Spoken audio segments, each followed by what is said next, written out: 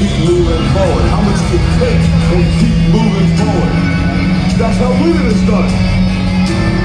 Now, if you know what you're worth, that's why you get what you're worth. But you gotta be willing to take the hits and not pointing finger saying you ain't where you want to be because of him or her or anybody.